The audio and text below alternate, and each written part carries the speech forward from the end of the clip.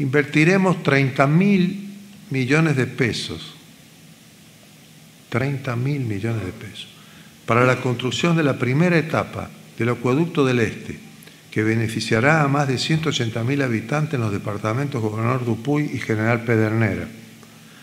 La obra garantizará para consumo humano en calidad y cantidad a una población que hoy ve afectada su salud por la presencia de arsénico y flúor en las napas subterráneas.